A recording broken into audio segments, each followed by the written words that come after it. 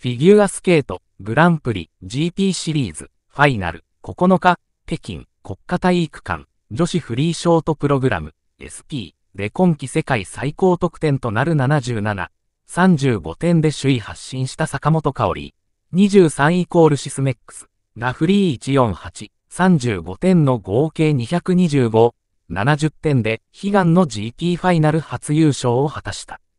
冒頭のダブルアクセル、2回転半、お決め、その後も堂々たる演技を披露。3回転フリップにはミスが出たが、しっかりまとめて首位を守りきった。SP の地には、GP シリーズからの3連勝を意味する、1、1、1までもうちょっと。と高揚した様子で話していた。目標としていた優勝を達成し、とにかくほっとしています。そして、20日開幕の全日本選手権へ、3連覇を目指してすぐに切り替えて頑張っていきたい、と次の目標を見据えた。SP4 位の吉田春菜、18イコール木下アカデミーは、203、16点で3位。